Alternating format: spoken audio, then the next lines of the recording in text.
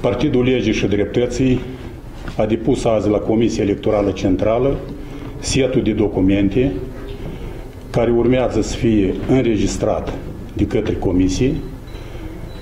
Timp de șapte zile comisia se va expune și va lua o decizie. De rând cu documentele prezentate, am uh, prezentat și o listă de candidați la funcția de deputat în Parlament. Este o listă de persoane oneste, profesioniste și integri. Foarte important, integri.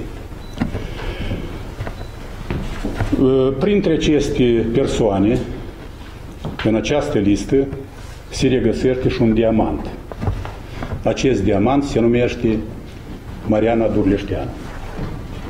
Suntem foarte bucuroși de faptul că am reușit să o convingem pe doamna Durleșteanu ca să revină în țară, să revină acasă, la Baștină și să participe la acest uh,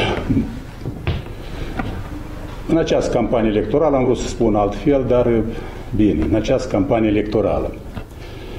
Sperăm, cu toată certitudinea, că Moldova va avea o tăcere a ei, o tăcere a Moldovei.